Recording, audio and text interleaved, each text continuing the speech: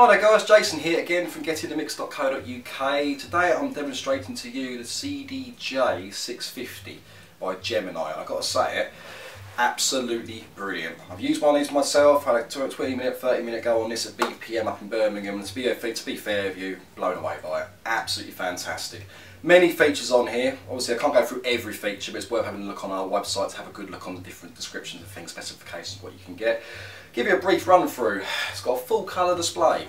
Now, the only other uh, units I've seen with a full colour display, as you know, know Pioneer CDJs, um, or the, the newer end, like the 900 and the, I believe it's the 2000 and the Nexus as well. So obviously these are on par. Very good styling on these. They're very similar to other different high-end turntable CD players. Um, as far as it's concerned, if you're a scratch DJ, just a mixer, or even a mobile DJ, these definitely do the job. Very, very, very well built.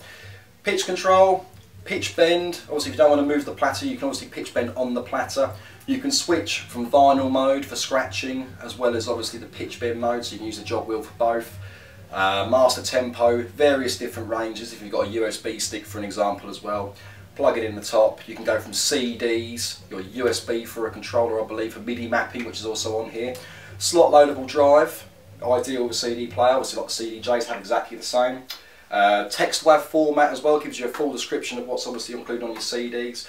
USB output port on the back as well as your standard obviously RCA lines red and white. Um, obviously it comes with the general phono connector cables, your RCA cables, you've got a 1.5 metre I believe included in the packaging. Obviously if you do get stuck or anything at all, obviously you've got the manual. Always good to have a brief look through the manual before you plug anything in. Obviously, if you do get stuck or have any other queries, obviously check out getinthemix.co.uk. We feel free to call myself, Jason, at getinthemix.co.uk, or give the sales team a call. Thank you very much.